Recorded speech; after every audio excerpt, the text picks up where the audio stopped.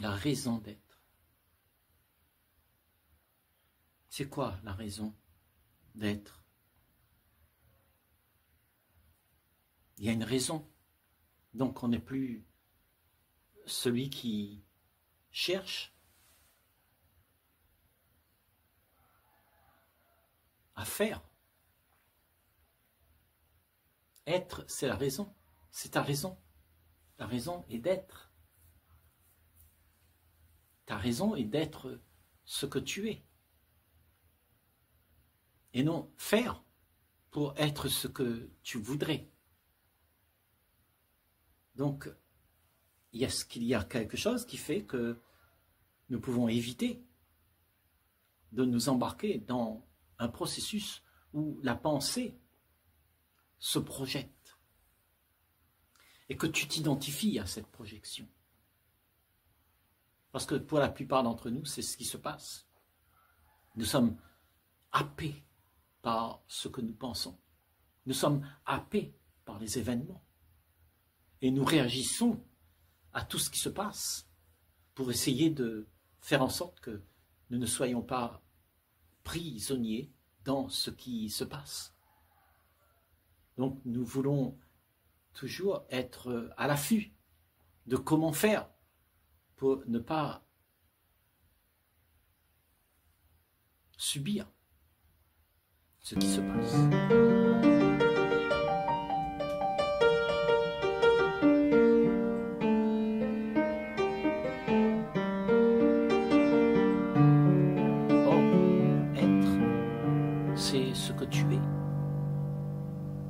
pas besoin de chercher ça. C'est ce que tu es. Être. Et être maintenant, dans ce monde, c'est la chose la plus difficile qui soit donnée.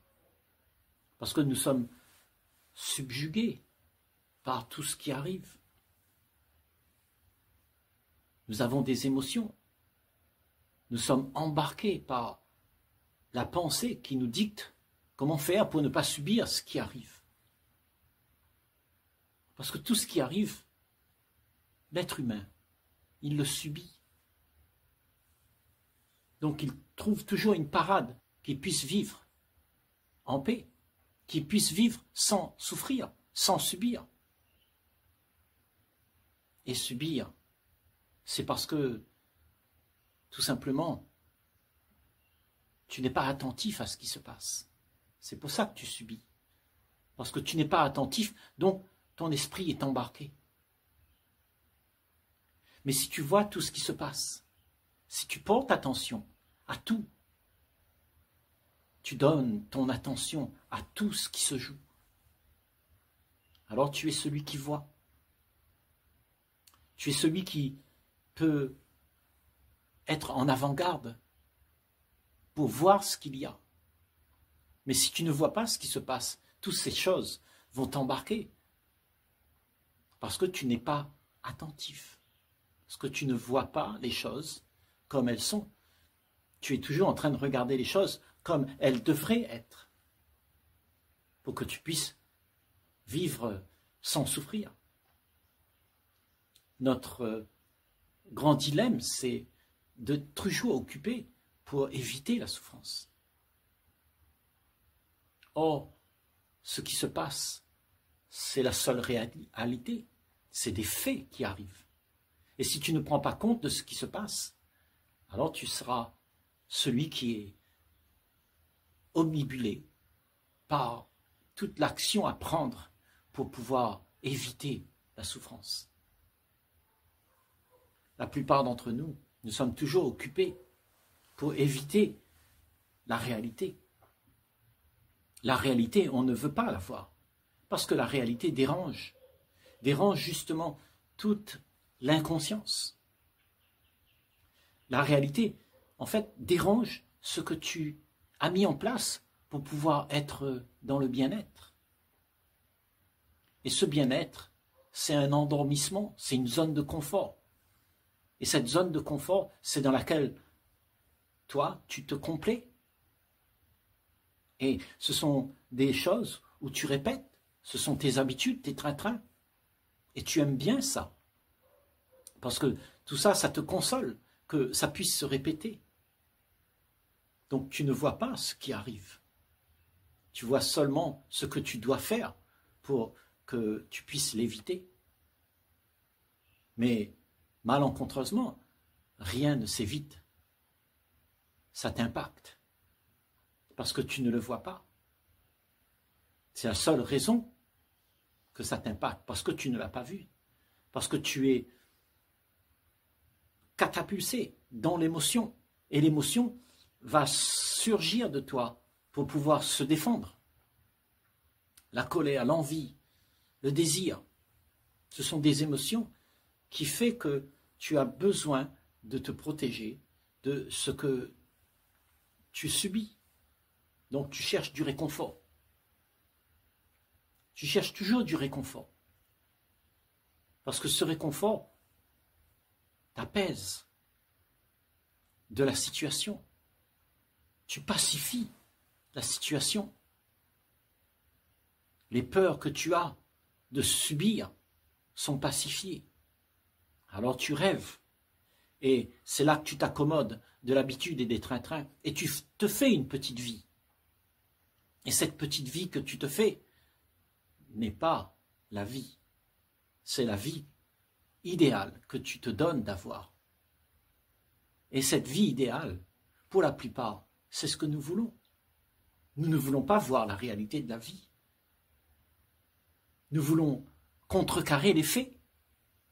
Quelque chose est arrivé et notre tête projette ce qui devrait y avoir.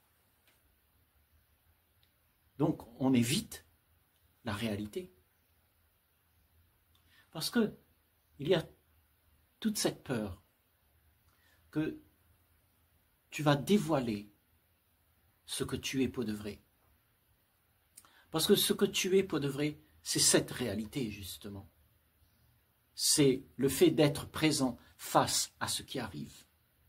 Le fait d'accepter la, la, réalité. Le fait d'accepter la réalité. De l'accueillir. D'être là, présent. Avec euh, un esprit sans jugement. Qui ne dit pas je veux plutôt ça que ça qui cherche à comparer, qui cherche à juger, à s'emparer de l'agréable et mettre le désagréable sous le tapis. À ce moment-là, tout ce que tu vis, ce sera le confort, l'agréable. Et c'est ce que tu vas prôner. Tu vas prôner que ce que tu veux, c'est l'agréable. Mais la vie, quand tu subis tout est là. Tout impacte. Et si tu évites de vivre ce que la vie propose, alors tu seras dans un leurre, à te demander qu'est-ce qu'il y a d'autre, à inventer quelque chose sur lequel tu puisses t'appuyer pouvoir être bien. Donc, tu cherches tout le temps un échappatoire. Tu cherches une vie qui n'existe pas. Et cette vie qui n'existe pas, ce sont tes pensées qui te les proposent. C'est-à-dire tout ce que tu sais de ton passé, tout ce que tu as appris, tout ce que tu as comme référence, qui fut vécu, alors tu veux le répéter. La joie d'hier, la mémoire que tu as gardée, tout ça, elle va se retraduire dans la pensée, qui va réitérer ce que tu dois faire pour pouvoir avoir cette joie. Mais en fait, c'est une projection de hier. Et dans ce hier, il n'y a rien de vrai. Ce n'est qu'une projection de tes pensées qui te fait montrer une promesse que tu te donnes à toi-même. Une promesse à atteindre. Donc tu es toujours occupé à aller chercher dans la promesse, dans l'espoir, quelque chose qui n'existe pas. Donc tu es toujours déçu. Tu n'es jamais satisfait. Tu voudrais vivre un paradis. tu voudrais vivre un nirvana. Mais ce sont des choses que tu t'es projetées. Donc tu cherches toujours dans tout l'entourage que tu as, tu essayes de mettre ça en place. Mais ce sont les projections de tes pensées. Il n'y a rien de tel. Ce qu'il y a, c'est les faits qui sont arrivés et que tu ne veux pas rencontrer. Tu veux esquiver pour ne pas souffrir, pour ne pas être embarqué avec des émotions qui te mènent en haut et en bas, des hauts et des bas, parce que tu es en bousculé par l'action à prendre qui fait que tu n'es plus en paix. C'est seulement quand tu gardes la paix, quand tu acceptes de voir les faits, quand tu es présent, que tu peux regarder les choses telles qu'elles sont et rester en paix, parce que tu vois ce qu'il y a. Mais quand tu ne vois pas ce qu'il y a, alors la peur te prend. Parce que tu veux éviter tout ce que tu ne connais pas. Tout ce qui arrive à toi et qui te fait réagir, ce sont des choses que tu veux éviter. Tu préfères un monde agréable qu'un monde désagréable. Donc tu cherches tout le temps à mettre en place ce que tu as conclu. Et ta conclusion est de dire ça c'est bien et ça c'est pas bien. Ça j'aime, mais pas ça. Donc tu compares toute ta vie avec tous les événements qui arrivent. Et tu vas vouloir faire exister seulement ce qui est bon pour ta compréhension. Donc ta compréhension, elle est figée dans un domaine où tu te racontes l'histoire d'une vie que tu aimerais avoir. C'est ça ta compréhension, ce sont tes conclusions. Et tu te donnes de faire exister ça. Mais ce sont des choses qui ne peuvent pas exister, parce que ce sont des projections de ton esprit qui veut te montrer ce que hier fut tout ce que tu as vécu, tu languis de ça, et tu voudrais quand même le garder. Tout le passé, tu veux le faire exister dans le présent. Mais dans le présent, il n'existe rien. Il n'existe rien que le vide. Un vide où le temps n'existe pas. Dans ce moment où tu respires, il n'y a pas hier. Et quand tu veux faire exister ça, alors tu subis ce que la vie elle est. Tu subis les faits parce que tu ne veux pas les voir. Tu veux voir seulement ce que tu aimerais voir. Tu veux mettre en place tout ce qui est à ton goût. Tu contrôles, tu fuses. Tu voudrais que les choses soient comme tu aimes. Et ça, c'est la bataille de la plupart d'entre nous. Toute une vie, on veut contrôler ce qui se passe pour que tout soit au goût de mes conclusions. Mais ta conclusion, elle vient d'où? As-tu déjà réfléchi à ça? Elle vient d'où tes conclusions? Comment tu as pu conclure que les choses devraient être comme ça? N'est-ce pas parce que tu as eu une expérience dans ta vie? Et ton expérience t'a fait remarquer que ce que tu vis là, c'est agréable, et donc tu voudrais le répéter. Et en fait, si tu le répètes, ça n'existe pas. Tu ne peux pas le répéter, puisque c'est mort. C'est des choses qui se sont passées. Et toutes tes pensées convergent à faire ça. Ce que tu penses, ce sont des choses qui sont réitérées du passé et qui veulent, qui insistent pour entrer dans ton présent, pour que tu puisses avoir l'espoir que demain ça ira mieux pour toi. Donc, tu travailles avec le passé et tu emmènes le passé à se transformer pour que tu puisses avoir quelque chose sur lequel tu puisses t'appuyer. Mais tu ne peux pas t'appuyer sur ce qui n'est pas. Il n'y a plus, il n'y a rien. Donc si tu réalises ça, qu'il n'y a rien, ben, sur quoi tu peux t'appuyer? N'est-ce pas sur quelque chose qui est vraiment là? Et ce qui est vraiment là, c'est rien. C'est la seule chose qui existe, les faits. Les faits, ce sont des choses qui sont arrivées, mais que tu ne peux pas transformer, que tu ne peux pas arranger, que tu ne peux pas dire que maintenant je ne voudrais pas ça. Il faut que tu l'accueilles. Tu ne peux pas esquiver les faits. Peut-être qu'on peut croire. On peut croire qu'il y a quelque chose à faire qui me donnera un autre lendemain un peu mieux que ce que je vis là maintenant. On peut croire que demain sera mieux. Mais en attendant, la vie ne se vit pas, puisque tu attends demain. Tu es dans l'espoir de quelque chose qui va avoir lieu. Et quand ça arrive, ce que tu as espéré, tu seras toujours déçu. Tu ne seras pas comblé. Parce que ce qui va te combler, c'est seulement cet instant où tu restes là avec ce qui se joue. Que tu es alerte, que tu es conscient de tout ce qui se passe. Et cette conscience fait en sorte qu'il y a une présence, la présence consciente de ce qui se joue. Et quand tu es conscient de ce qui se joue, alors tu as une certaine clarté d'esprit. Parce que tu vois où est le danger. Tu vois les choses qui se passent. Tu comprends ce qui se passe.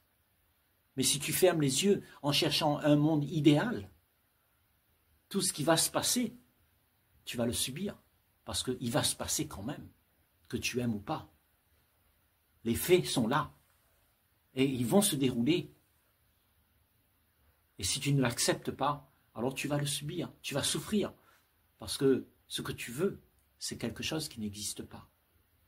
Donc la souffrance, ça vient de celui qui veut emmagasiner des choses qui n'existent pas. Des concepts, des croyances, des idées de ce que la vie devrait être. Là, il y a la souffrance. Parce que tout ce que tu peux faire n'arrivera nullement à son but. Parce que tout ça, c'est éphémère. Il n'y a pas tout ça. Ce qu'il y a, c'est ce que tu vis. C'est ce qui coule là maintenant. Quand tu acceptes quand tu acceptes d'accueillir le bon, le mauvais, le grand, le petit, tout ce qui arrive, sans les écarter, en les accueillant tout. Le bon et le mauvais sont au même pied d'égalité tu les accueilles les deux de la même manière. Le riche ou le pauvre, tu l'accueilles de, de la même manière. Le joli et le vilain est accueilli de la même manière. Il n'y a pas de comparaison. C'est seulement quand il y a la comparaison qu'il y a la fuite. Parce que tu fuis ce qui est. Et ce qui est, c'est ce qu'il y a. Tu ne peux pas diviser entre le bien et le mal. Il n'y a pas de division. C'est la même chose. C'est quelque chose qui est un ensemble indissociable. Mais quand tu compares, tu donnes l'illusion que c'est séparé. Et avec cette illusion, tu te fais des histoires. L'histoire d'une vie qui devrait y avoir. Parce que tu as comparé. Quand tu ne compares pas, quand tu acceptes ce qu'il y a, alors tu n'es plus en conflit entre ce qui est bon et pas bon. Tu acceptes tout, tu accueilles tout. Et ça, pour faire ça, il faut avoir beaucoup d'intelligence, beaucoup d'humilité pour ne pas réagir comme si tu savais qu'est-ce qu'il te fallait. Donc, celui qui veut est un danger pour lui-même. Si tu veux avoir des choses qui sont agréables plutôt que ceux qui sont désagréables, alors tu vas avoir une vie misérable. Parce que tu vas toujours subir ce que tu ne veux pas. Quand tu auras ton bien-être, quand tu auras ta zone de confort, il y aura toujours dans cette zone de confort quelque chose qui viendra titiller ton repos.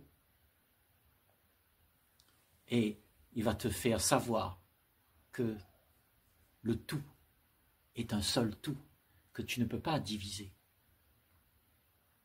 Et à ce moment-là, si tu acceptes de voir les choses telles qu'elles sont, alors tu acceptes aussi d'être en harmonie, parce que tu ne crées plus en toi la division. Tu as tout pris. Le riche, le pauvre, le mendiant, tout, tu accueilles et tu ne juges pas. Parce que c'est comme ça. C'est ce qu'il y a. C'est pas ce que tu aimerais. C'est ce qu'il y a. Et ce qu'il y a, il faut que tu l'accueilles. Et quand tu accueilles ce qu'il y a, alors tu n'es plus dans la comparaison. Tu accueilles ce qui est. Ton esprit n'est pas omnibulé par ce que tu aimerais faire exister. Tu accueilles juste ce qui est.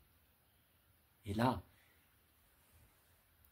tu adoptes une quiétude, parce que cette quiétude, c'est l'harmonie de ton esprit, qui n'est pas divisé, qui accueille tout, qui vit tout ce qu'il y a à vivre,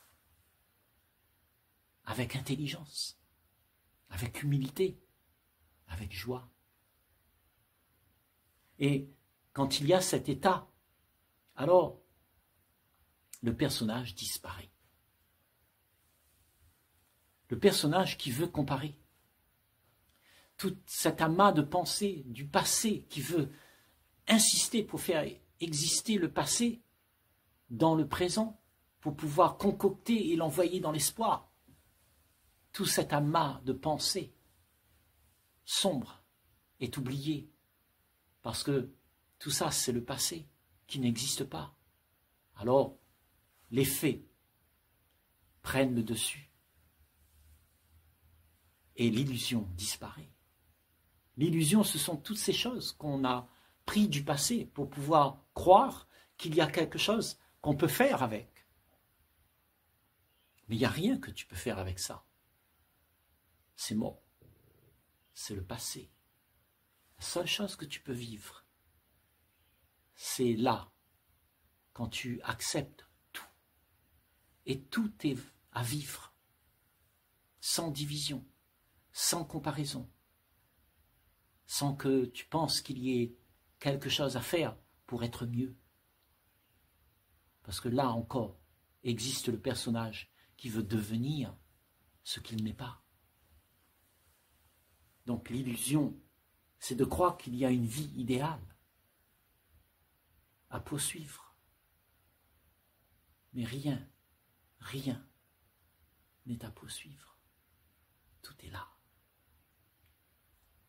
Il faut accepter de les voir, accepter d'être confronté au bien-être et aussi au mal-être.